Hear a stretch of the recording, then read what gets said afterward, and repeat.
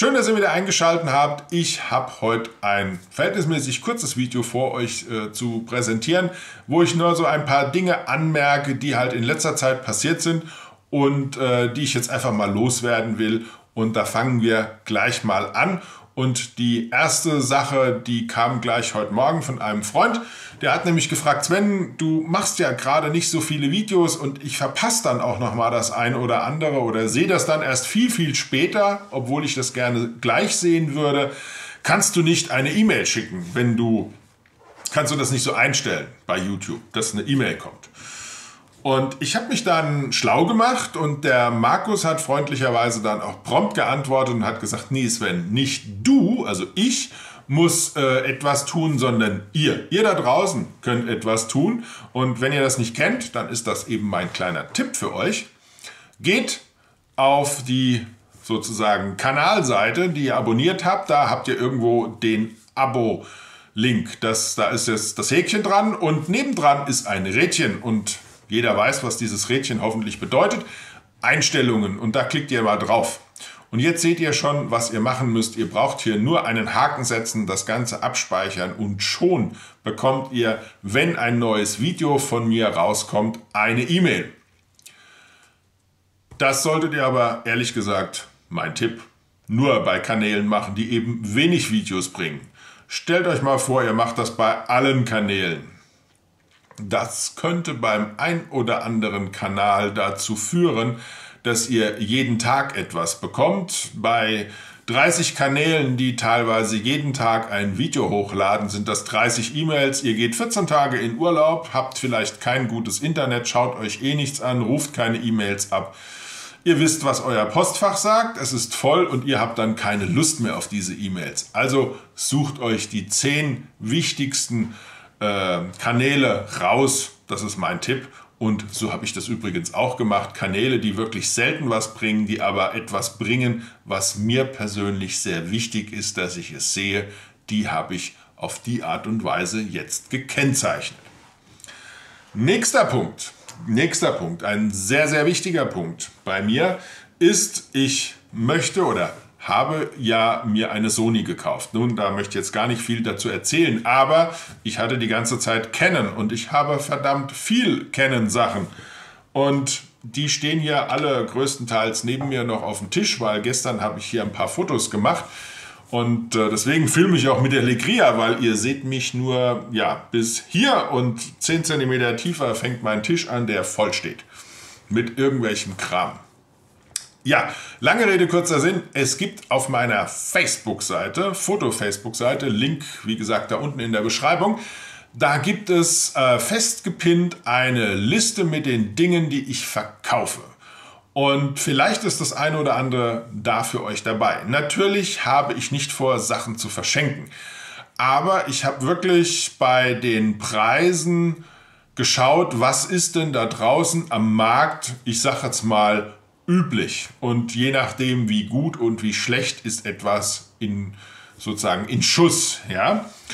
Und auch wie selten ist manches. Also da gibt es wirklich Sachen, die sind seltener und äh, ja. Wer da Interesse hat, reinschauen. Ich lasse auch mit mir handeln. Ja, wenn jemand sagt, hey, ich bin Student und 20 Jahre alt und so viel Geld habe ich nicht. Okay, reden wir mal. Aber das machen wir privat und wie gesagt, schaut mal rein. Es gibt auch eine Vollformatkamera, die ist zwar ein bisschen älter, die wird jetzt zehn Jahre alt. Ich habe sie allerdings äh, erst, äh, ich glaube, 2008 gekauft und äh, 2012 war es, glaube ich, durch die 5D Mark III ersetzt. Das heißt, die hat gar nicht so viele Auslösungen. Gut, das soll es gewesen sein für den Canon-Kram. Es sind auch zwei Sigma-Objektive dabei. Meldet euch einfach. Gut. Mmh. Makro. Makro ist natürlich bei mir zurzeit ein Thema, wobei ich auch demnächst mal wieder ein People-Shooting habe. Makroobjektive, da habe ich hier auch so ein paar Sachen stehen. Und äh, ja, da wird eben das eine durch das andere ersetzt.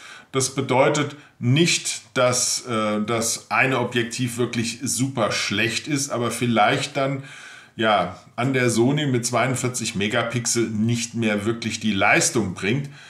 Ähm, auch hier wird es also eine Liste demnächst geben.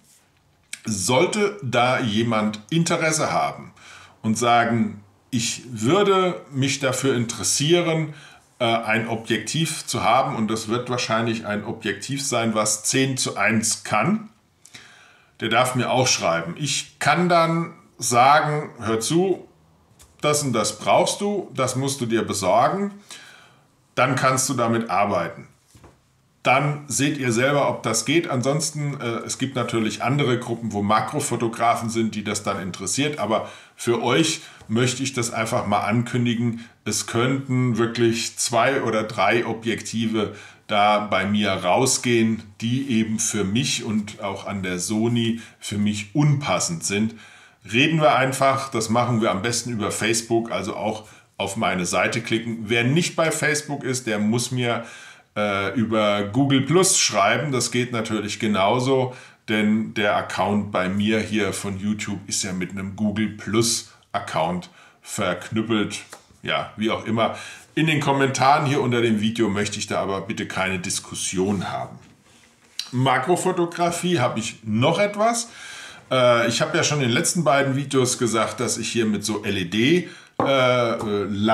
äh, solchen, äh, da sieht man es auch nochmal, Moment, ja, ich denke mal, ihr seht das, ähm, ja, solche Panels, da sind jetzt neun LEDs drauf, die sind wirklich schön hell, dass ich äh, damit äh, gute Ergebnisse hinbekommen habe, auch am Üben bin, ähm, aber dass ich auch durch, äh, ja, eindringliche Beratung gelernt habe, ich muss meinen Workflow umstellen. An der Stelle möchte ich nur Alex sagen, der sich, äh, ja, der mich fast verprügelt hätte, wahrscheinlich, wenn er vor mir gestanden wäre, dass ich so äh, beratungsresistent war. Aber an der Stelle sei nur gesagt, Alex, ich gehöre zu den Menschen, die einfach nicht sagen oder gesagt haben wollen, mach das so, so und so und dann wird das was, sondern ich möchte wissen, warum. Und du weißt, äh, was ich dir gesagt habe, nachdem du mir einen Link geschickt hast und ich dann den gelesen habe, was da steht. Das ist teilweise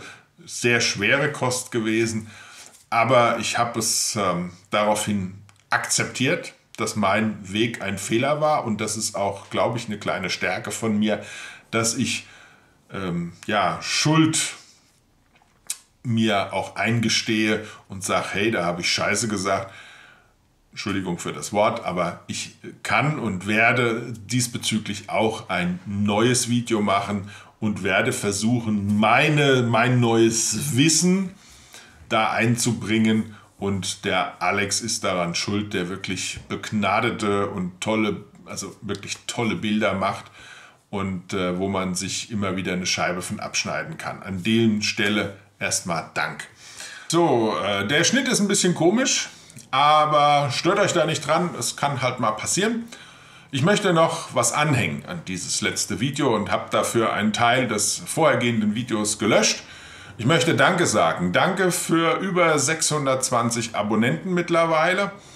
Äh, danke, dass ich mit einigen von euch äh, sehr guten Kontakt habe und dass auch immer wieder Fragen kommen, Bestätigungen kommen, selten, und das ist eigentlich auch gut, freut mich, äh, selten kritische Anmerkungen kommen, aber insgesamt, und da habe ich auch schon mal ein Video gemacht, das nennt sich Feedback, das ist da irgendwo weiter unten, könnt ihr mal nachschauen, ein halbes Jahr her etwa.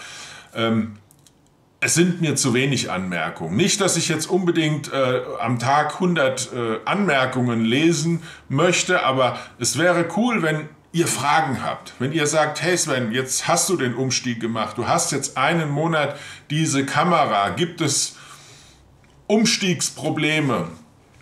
Was gibt es für Erfahrungen? Hast du noch irgendwas gemerkt im Laufe der Arbeit, zum Beispiel mit der Sony? Weil ihr zum Beispiel auch sagt, ich, ich traue mich, ich möchte umsteigen, aber ich bin mir noch nicht sicher. Ja, also der, der Schritt, den ich um Ostern ja schon mal fast vollzogen hätte, auf eine Sony umzusteigen, den habe ich ja jetzt erst geschafft.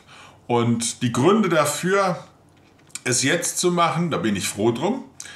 Ähm, aber äh, der Punkt ist, wie denkt ihr darüber? Was, was möchtet ihr wissen? Natürlich gibt es auch Leute, die sagen, ich bleibe bei meiner Canon, ich bleibe bei meiner Nikon. Wenn das eine neue Kamera ist, wäre das auch ziemlich dämlich, diesen Schritt zu tun.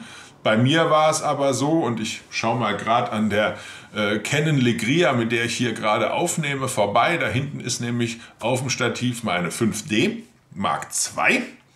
Jetzt sage ich es richtig, vorhin habe ich Mark III gesagt, die habe ich nicht. Äh, diese Mark II, die wird weiter als Filmkamera hier bleiben. Ich werde wahrscheinlich auch zwei Objektive aus diesem Grund behalten. Das eine Objektiv auch, weil ich es an der Sony manuell verwenden kann. Aber alles andere, äh, habe ich ja auch schon gesagt, wird verkauft und das brauche ich nicht mehr, das möchte ich nicht mehr. Ja, ich möchte den Teil vom Tisch, wo sehr viel Canon-Kram gerade liegt, äh, also hier, äh, möchte, ich, möchte ich weghaben.